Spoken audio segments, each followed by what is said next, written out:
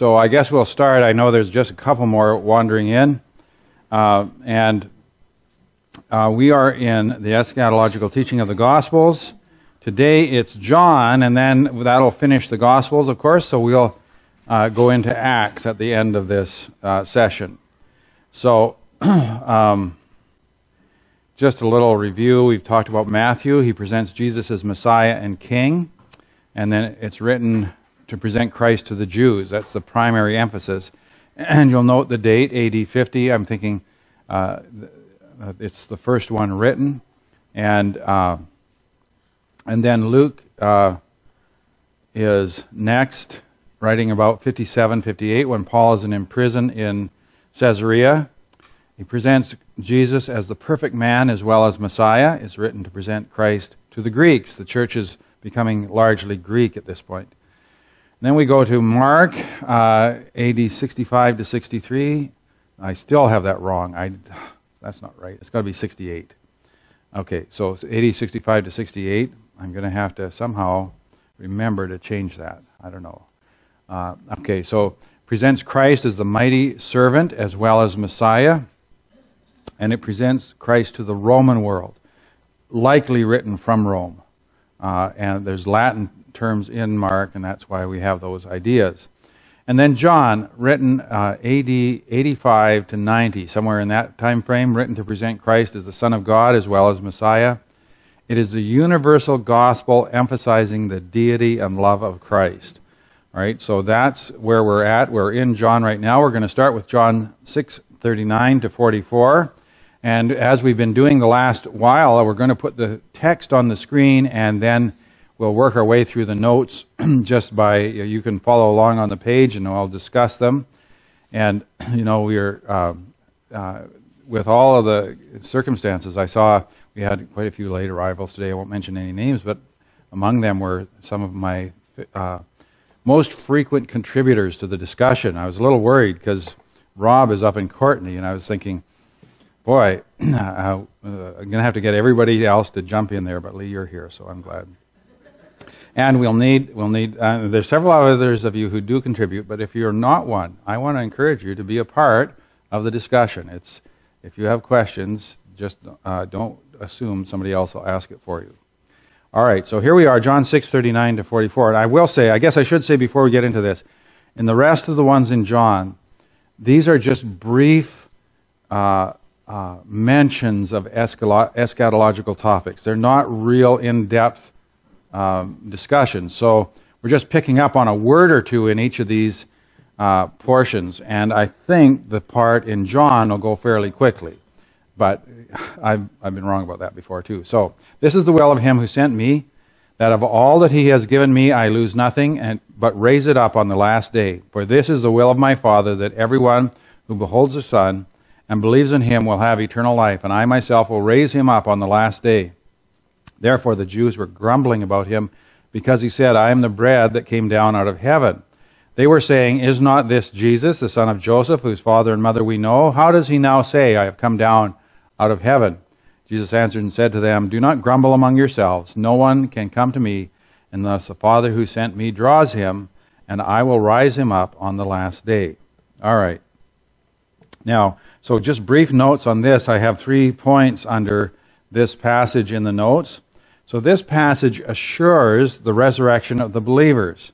And here, Jesus himself will do the raising. Now, other passages will ascribe it to the Father and to the Spirit. The, of course, the Trinity is involved. All right, the, God in his three persons. And, uh, and unbelievers, the resurrection of unbelievers, are not in discussion in this passage. So the key words here, here are uh, that Everyone who beholds the Son and believes in him will have eternal life. I myself will raise him up on the last day. That's verse 40. And again, no one can come to me unless the Father who sent me draws him, and I will raise him up on the last day. All right, so it's that reassurance of the resurrection for those who believe in the Lord Jesus. All right, any questions on that one? I think it's fairly straightforward, but there might be something there that causes you to have a question. Anybody have something? All right, ready to move? Okay, so let's move on. Uh, as I said, John's gospel here, they're just brief mentions. And, and again, we're going to, and here we're going to be talking about the resurrection again in John 11. Of course, this is the resurrection of Lazarus. So resurrection is the big theme of that chapter. Jesus said to her, Your brother will rise again. Martha said to him, I know that he will rise again in the resurrection on the last day. Jesus said to her, I am the resurrection and the life. He who believes in me will live even if he dies, and everyone who lives and believes in me will never die. Do you believe this? So, uh, the comments here, again, just a couple of brief notes. The believer in the Lord Jesus Christ cannot lose. If he dies in the faith, he will surely be raised to eternal life.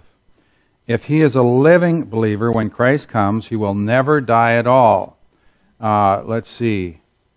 Uh, and that's the interpretation given in verse 26. Notice that. Everyone who lives and believes in me will never die. Now, this applies to those. Uh, let's. Maybe I should back up and read that whole statement. I am the resurrection and the life. He who believes in me will live even if he dies. Okay?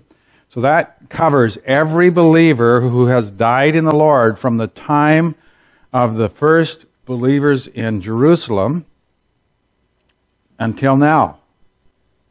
All right, so that is covered there.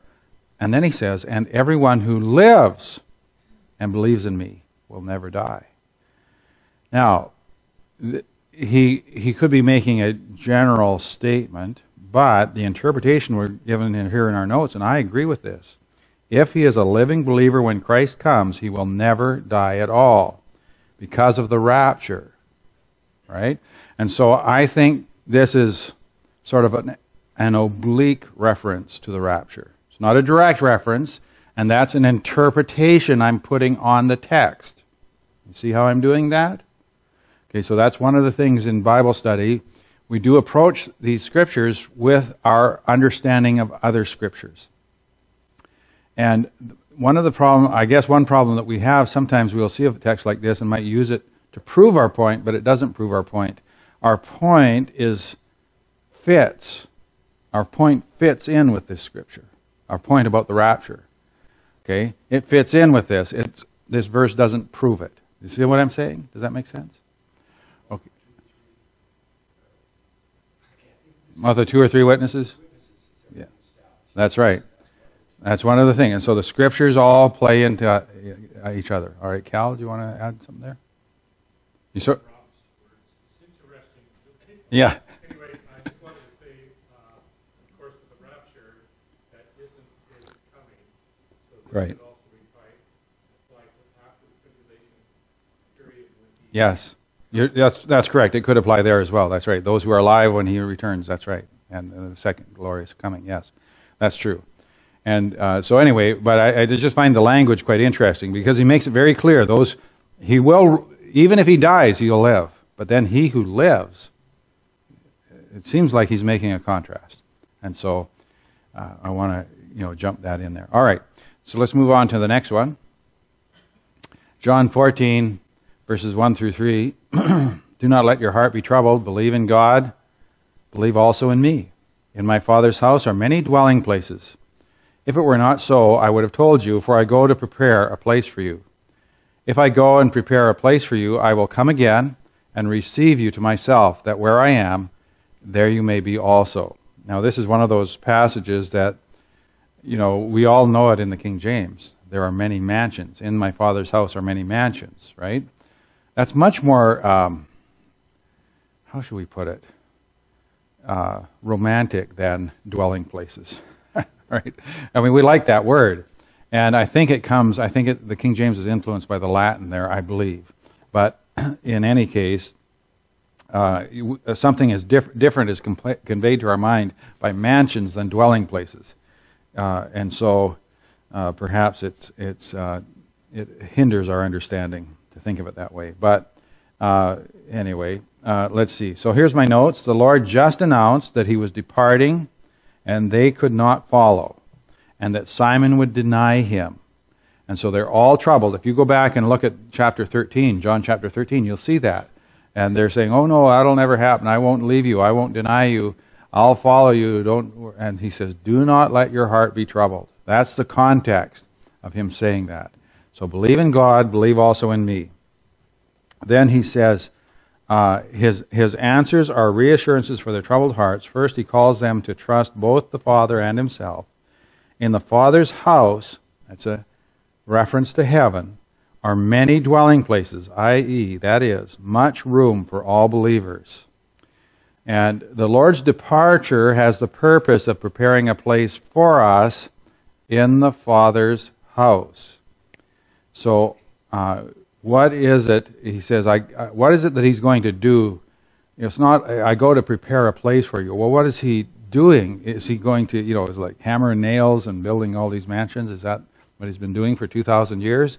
Well, hardly. That's not the point. The Lord's actions are preparations for this event. So the death, burial, and resurrection are the first step in preparing uh, for uh, for preparing that place in heaven. And then the ascension into glory is another step. And the intercession in heaven today is another step. The Lord uh, intercedes in heaven as we're taught in other scriptures. the final step is return for the saints in the air. So that is the rapture. Again, we're going to bring that in. And then, of course, the other events that come. They're all steps in preparing for that dwelling place of the saints with God forever uh, in heaven. So if Christ should go and prepare a place for us, he says, I will come again. Now, even though that's a conditional statement, and it's not even a first class condition, it is a, uh, I think it's third class. So uh, the first class conditions are ones that either assume that what he's saying is true, uh, and uh, or or or at least, or is even a statement of something that actually is true. All right. So if I go and prepare a place for you, however, I was looking in one of my grammars about this. He said that even sometimes a third class conditional statement, such as this is, is given, and he cites this example specifically, is given about something about which the events are certain. So it's a conditional statement. We sort of think, well, if I go and well, are you going or not? Well, he really is going, and he did go. And he says, and he really will come again. These are certain things. But it's just stated here as a conditional statement. The verb is called a futuristic present. Uh, let's see. Uh, I am coming again. I will come again is how it's translated, but it's actually present. Okay, I am coming again. So this certainly makes it sound imminent. Could be at any moment. I am coming again. And I will take you unto myself. His presence should be our goal. All right? I will come again. I will take you to myself. That where I am, there you may be also. He does not warn us here of any tribulation period or tell us of anything which must precede his coming for us. Uh, so th- this is this is an argu- this is uh, cited or, or, mentioned. This is from Custer's notes again. That um, uh, it's sort of an argument from silence. It's not, again, this isn't proof, but we believe that the next, as we talked about last time, the next thing to happen is the rapture.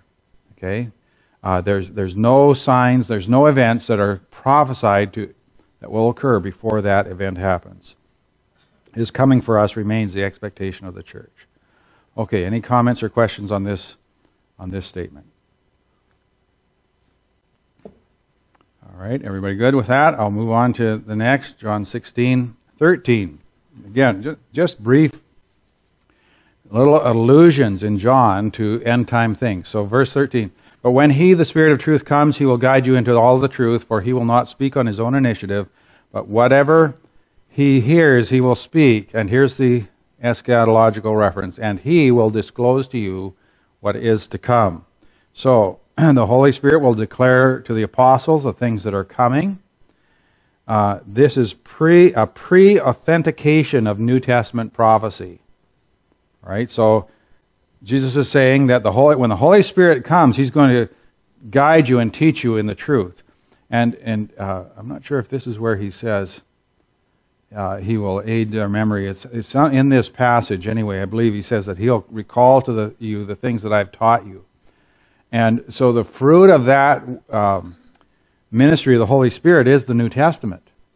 But then that last phrase there in this verse says, He will disclose to you what is to come. In other words, there, are, there is new revelation coming through the Holy Spirit. And, and some of that that is coming to the apostles through the Holy Spirit are the things that are to come. And we see them, that scattered throughout the Gospels. Of course, we're going to see it throughout all of the Acts and the epistles. And of course, very much in the book of Revelation. The Holy Spirit is going to reveal this to the apostles in that way.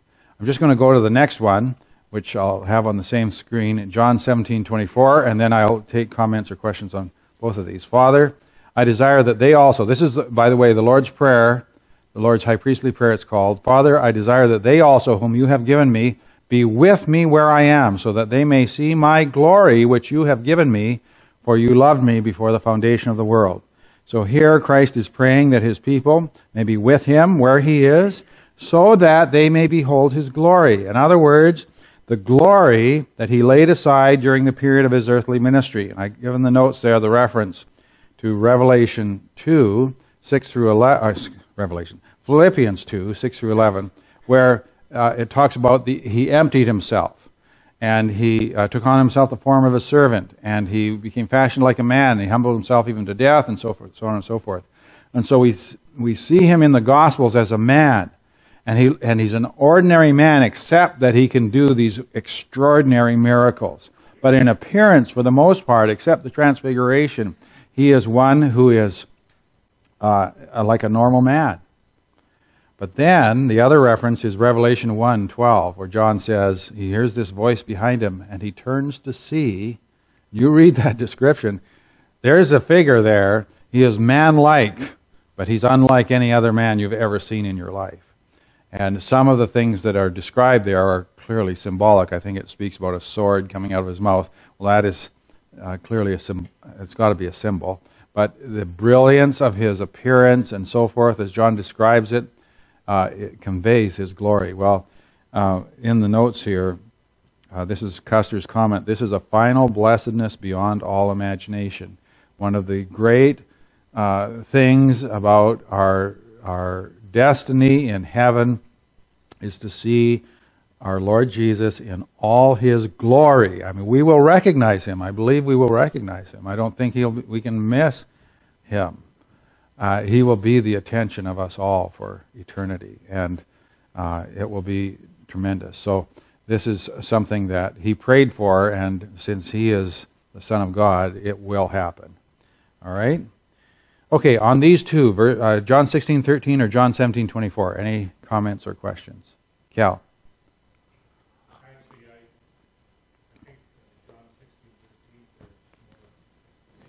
Okay.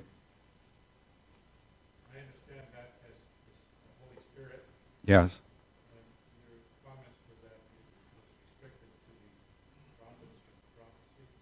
Well, he's going to not not totally. Everything that he that he Jesus uh, had taught, the Holy Spirit was going to bring back to their minds. He says that elsewhere in the passage.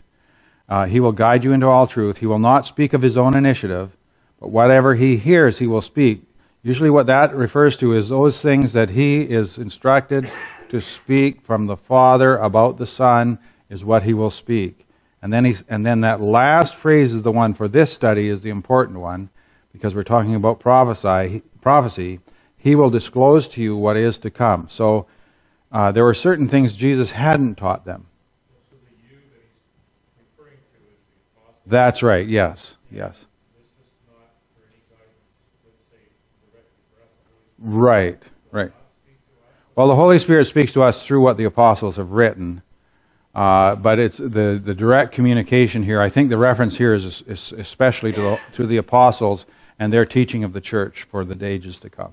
Yes, okay. Yeah, yeah that's a good question because uh, I, I, suppose people can take that and say, okay, well, the Holy Spirit told me, and you know, as people do. Okay.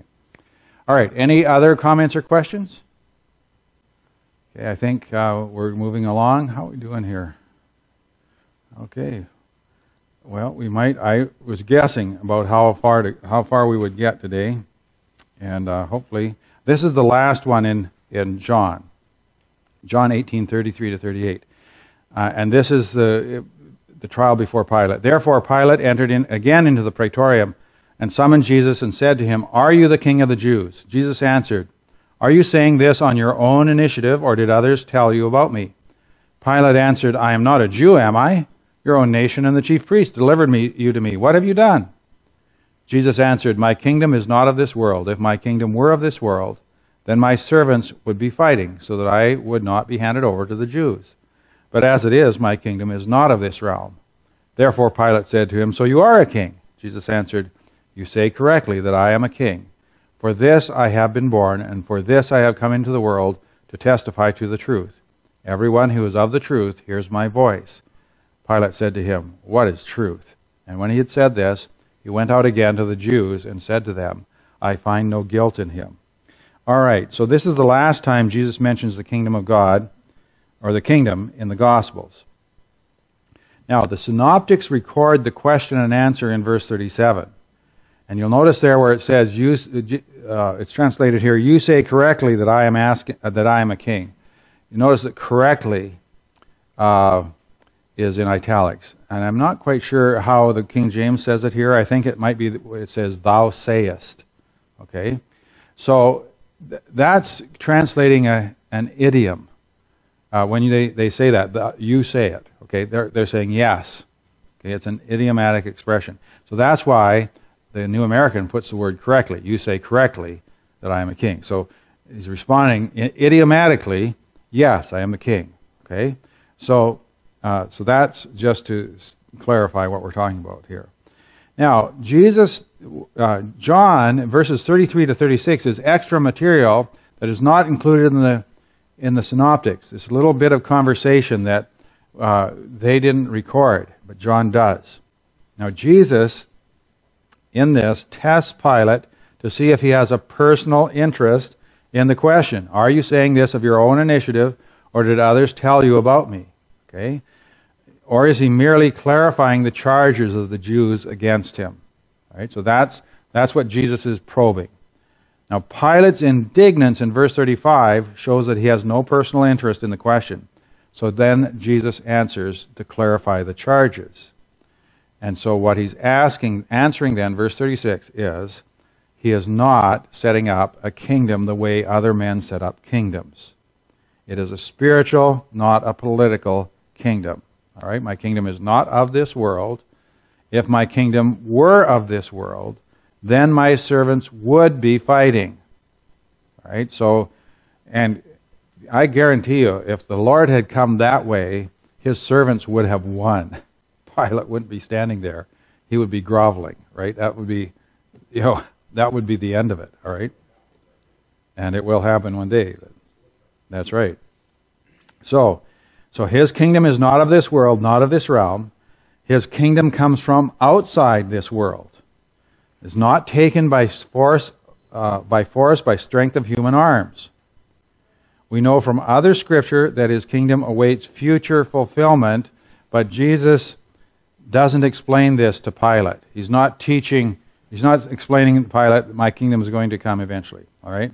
Nevertheless, Jesus is still a king, one who bears witness to the truth, to reveal God to the world.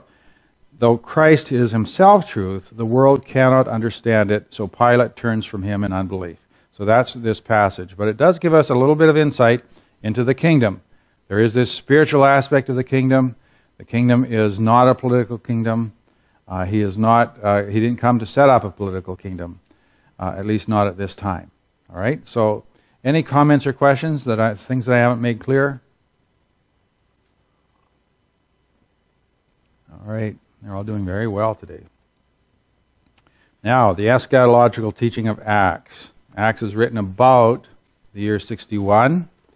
Early in Paul's imprisonment in Rome is when it's in, uh, concluded.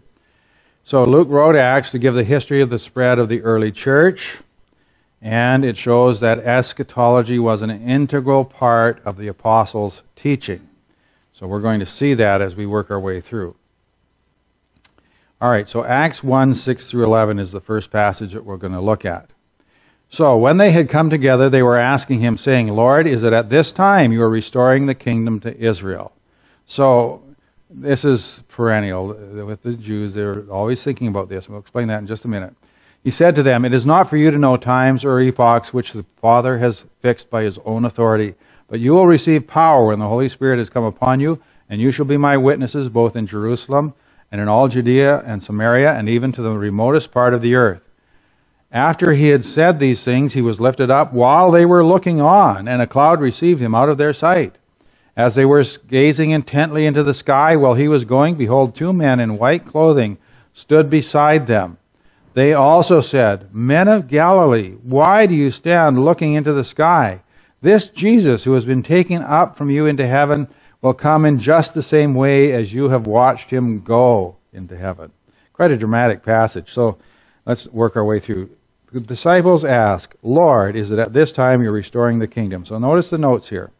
The Old Testament frequently mentioned the outpouring of the Spirit in connection with the kingdom, and there's some references there. It's probably not comprehensive, but you can look that up. There's there are references to the outpouring of the Holy Spirit, and then you see a description of the blessed period of the kingdom. And so the expectation of the disciples was natural, since they do not yet understand God's plan to delay the millennial kingdom. So they're saying, well, hey, you're raised from the dead, and you know, it must be the Holy Spirit next, and then kingdom, right? No, no, not just yet. Okay, so uh, here's the point. Now, this one, I think this is a very strong argument, actually. If Israel is never to receive a renewed kingdom, now is the time for Christ to clear up their misconceptions. All right, so is it at this time you are restoring the kingdom to Israel? You say, well, wait a minute, wait a minute.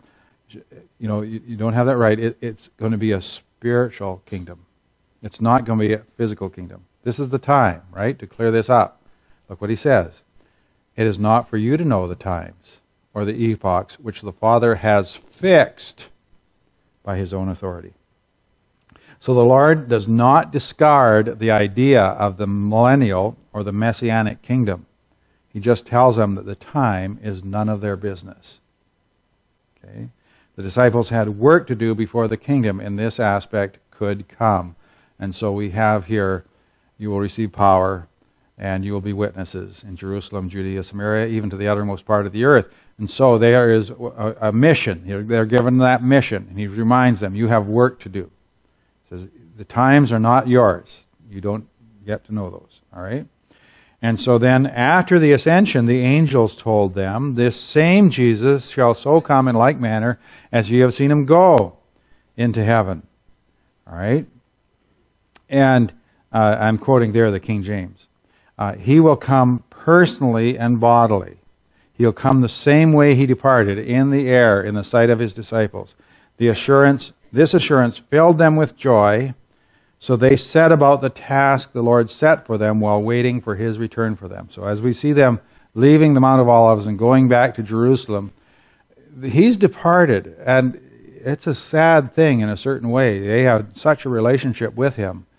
But they have these assurances from him and from the messengers, the angels. And, you know, they're, they're anticipating what comes next. It's quite a transformation from the day after the crucifixion.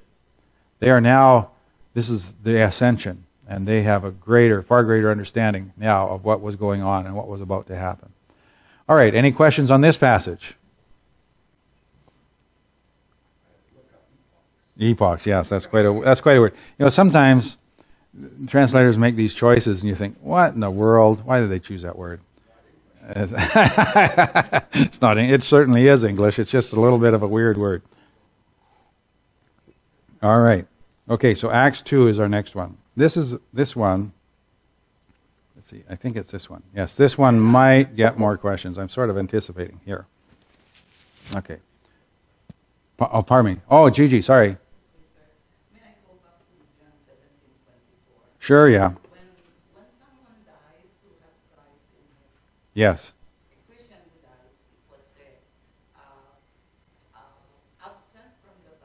Yes. Yes. So that means at the time we die, we need not necessarily wait for the resurrect. That's right. Such that we can enjoy or behold the glory of the That's correct. Yes. Yes. Yes. Yeah. Those who die, uh, those who die without Christ? Well, the indication from the other passages of the scripture uh, are that they are in torment. So, all right. Uh, but it's, um, yeah, we'll come to some of those passages. Absent from the body and present the, with the Lord is 2 Corinthians 5. And we'll, we'll uh, come to that uh, uh, eventually. But yes, that's, that is correct. All right, so Acts chapter 2, uh, 16 to 21 then. But this is what was spoken of through the prophet Joel. And it shall be that in the last days God says that I will pour forth of my spirit on all mankind, and your sons and your daughters shall prophesy, and your young men shall see visions, and your old men shall dream dreams. Even on my bondslaves, both men and women, I will in those days pour forth my spirit, and they shall prophesy. And I will grant wonders in the sky above and signs in the earth below, blood and fire and vapor of smoke. The sun will be turned into darkness, the moon into blood, before the great and glorious day of the Lord shall come. And it shall be that everyone who calls on the name of the Lord shall be saved, will be saved. All right, so this is the prophet Joel. So Peter quotes the prophecy of Joel. Interpreters vary on their understanding of Peter's use of Joel. So did Peter mean to say Pentecost completely fulfills Joel's prophecy? All right? So he's, you see all these things in his prophecy. So if yes, then why were there no signs in heaven? This is the problem that people, interpreters wrestle with. That's why there's a difference of opinion. And so there's actually, there are several different ways to view this. I actually, I think I have four of them, okay, listed here. So number one, some say Pentecost completely fulfills Joel, but then it, it can't be meant literally. In other words, there were no signs in heaven, blood, fire, vapor of smoke. Sun wasn't turned to darkness, the moon to blood. That didn't happen on Pentecost. So you have to, if if, if Joel is completely fulfilled by Pentecost, then it can't be fulfilled literally. You follow what I'm saying there? That's the one view. Okay? All right. Second view. Some say Pentecost is only partially, uh, partially fulfills Joel. So, uh, Acts 2, 17 to 18, okay, the pouring forth of my spirit refers to Pentecost. Verses 19 to 21, the signs in the heaven and so forth, refer to a later period. And so you'll see here, uh, Ironside, Harry Ironside, and I think Hodges, I think that's Zane Hodges, uh, take it that way. Okay, partial fulfillment. The first bit was fulfilled at Pentecost, second bit is future. Okay? Some say the fulfillment of the prophecy began at Pentecost. So inaugurating the age of the king, so to speak, with the full realization of the prophecy to come later.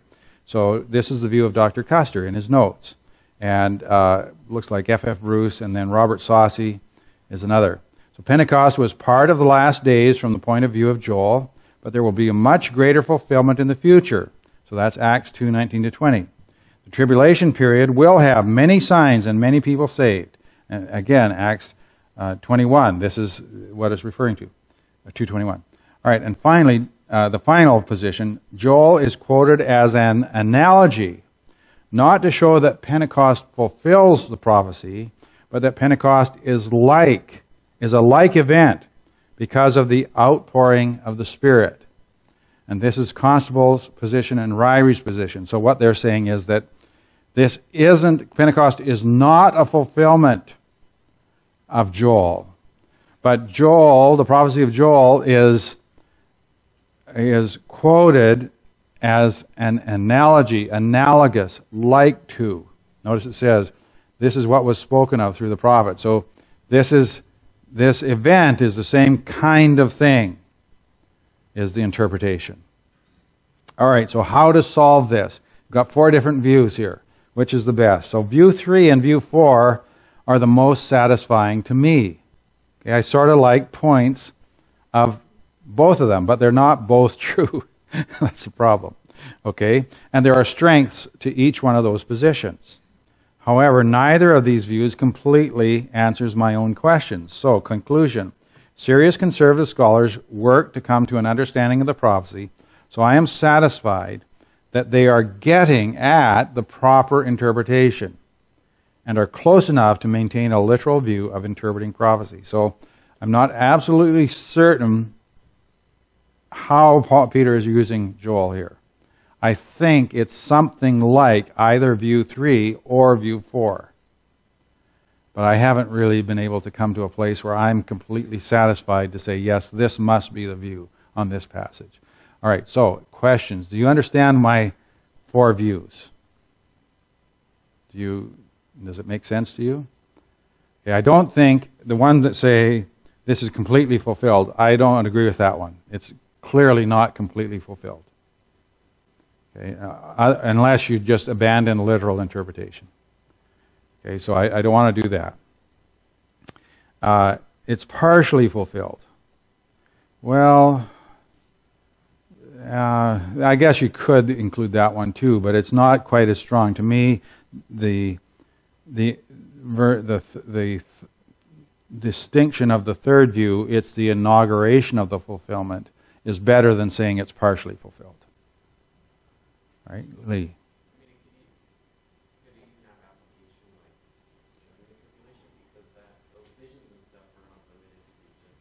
Right. Oh, definitely. Yeah.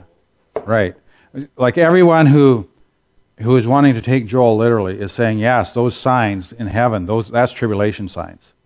Like we're all saying, yeah, yeah, we see that in Revelation, right? So that's why we're we're having a little bit of trouble here because Peter's saying, okay, this is what was spoken of, and he quotes the whole thing. Now, if he had just quoted, if he just stopped at the end of verse 18, we would be we wouldn't be having this discussion. But then he added the rest of it. And we say, well, wait a minute. What does he mean by that? Why did he include that?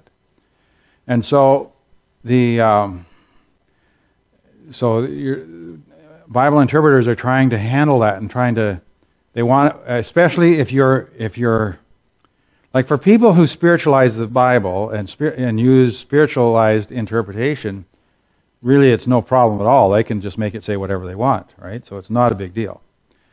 But if you want to hold to a literal interpretation and, and try to be as literal as possible, and then you see elsewhere in Scripture prophecies of these kinds of signs coming in the future, you say, all right, okay, I see those signs, I see that part as future for sure. So why is he saying it this way? And so that's what we're wrestling with. We're wrestling with understanding why Peter is using it this way. Yes.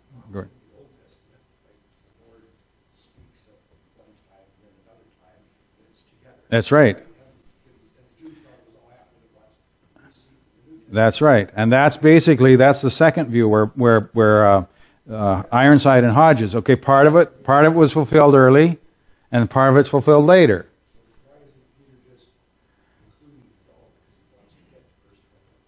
It could be, yes, could be that could be another. That's part of it. Yes, he could be like if you want to follow Ironside's view, it's partially fulfilled now, the first bit, the rest of it is later, and he wants Peter wants to get to verse 21 to appeal for salvation, right? Okay, so that's that's rational. You are rational, Gordon. That's good.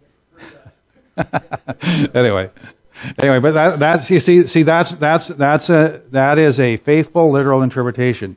The question, and and I think I you you could you could argue that that Peter is inclu- including the whole quote because he wants the first bit and he wants the last bit, and the other is is uh, just he's just quoting it because it's in pl- in its place, right? Okay, so it's a uh, the point is, I guess the point is that there is, as I came to this, uh, Custer's view was, in fact, in his notes because I'm, I'm I'm editing his notes. All he had was um, the fulfillment of the prophecy began at Pentecost he didn't include all the other views. So then I went into Constable. and said, wait a minute. I'm not quite sure I've heard that. So I went into Constable, was reading what he said, and he said, okay, there's, there's four views. So I thought, well, in fairness, you have to include all four views because these are all views that are, except for the first one perhaps, are, are proposed by um, dispensational, conservative Bible believers. So you know, there's obviously a disagreement somewhat. It's not a major disagreement. It's not like your salvation is going to hinge on which one of these three views you have, or four views. It's just we're trying to we're trying to wrestle with understanding the scriptures and our presuppositions about literal interpretation. And so we have to acknowledge this is one of those places that gives us a little bit of a challenge. Okay? As you can see in the various interpretations. Does that make sense? Okay, and I think there are reasonable explanations. The one that Gordon offers there just now, that's a reasonable explanation. Some of these others, where it says, well, this is the inauguration, Pentecost is the inauguration, but it's not completely fulfilled yet, that's, that's a reasonable explanation. And it keeps us within the literal framework. And then the, the fourth one, that it's an analogy, not a direct um, uh, sort of proof text. That's a reasonable point of view as well. That's, I guess that's the point that I'm trying to make. I, I just want you to be clear. Uh, and it, you know we're covering the prophetic passages in the New Testament, so we, we can't leave one out like this out because we don't understand it completely. All right, all right. Uh, Daryl, okay, I was gonna I was pulling it out slowly, but anyway, there you go. Uh, I don't know if this was helpful or not, but a friend of mine used to own an old Mennonite farm, and he fools and children should not see a job half done. Fools and children should not see a job half done. Well, that's probably true. Right. you get is a bunch of dumb questions, right? Yeah, yeah. Mark, we in that, we're, we're in a job half done, right? That's right. I think that this is one of those passages. Uh, like I can see the arguments of each one of these interpretations, and they seem reasonable, except there's maybe a little thing. Well, what about this? What about that? But I can't personally come to a conclusion and tell you which one I think is absolutely correct. That's right. It's best understood after it happens. And once once it does happen, we will have it figured out. So we're struggling away at, at it now. All right, so let's move on to the last passage. We have time for it. Acts 3:19 to 21. Therefore repent and return. This is the uh, uh, let's see. This is the sermon after after the healing of the lame man, right? Therefore repent and return. I believe that's right. So that your sins may be wiped away, in order that times of refreshing may come from the presence of the Lord, and that he may send Jesus, the Christ appointed for you, whom heaven must receive until the period of restoration of all things, about which God spoke by the mouth of his holy prophets uh, from ancient times. So Peter says to the Jews, Therefore repent and return, so that your sins may be wiped away, in order that the times of refreshing may come. The Jews continued to look for the messianic kingdom. That's the times of refreshing. G- Peter says, No one can enjoy the times of refreshing without repentance and acceptance of Jesus as Messiah. So they're going to have to change their mind about what they've been thinking about Jesus. And then he says, when the times of refreshing be- begin, Jesus will come from the Father, that he may send Jesus, the Christ, appointed for you. Heaven must retain Jesus until the time for restitution of all things uh, comes, but Peter clearly points to an indefinite time of fulfillment in the future. This refers to the millennial reign with its consequent restoration of Israel as well as the whole world. Uh, and the last point here, the Messianic kingdom is a major Old Testament theme, as we've seen. And, uh, oh, there's a missing period there that should be 34, chapter 34, verse 11 to 26 for Ezekiel there in that reference. But anyway, uh, this is, this is uh, uh, little reference. The period of restoration, it is coming, but you only access it by repentance and faith, okay, in the Lord Jesus. All right, any last questions on this passage? All right, so we've rattled through a lot, and we'll continue with Acts next Sunday. Uh, we might finish through the, the prophetic uh, passages in Acts uh, next week, and then it'll be on to the epistles after that. Okay, so let's have a word of prayer as we close. Our Father, we thank you for this time today. We pray for your blessing uh, in uh, understanding these scriptures and these prophecies. And Lord, as we uh, work our way through the New Testament, just thinking about the various little details that it adds to our body of knowledge, Lord, I pray that you'll help us to uh, be looking for the return of our King and to be trusting all the words that you have said to us. In Jesus' name, amen.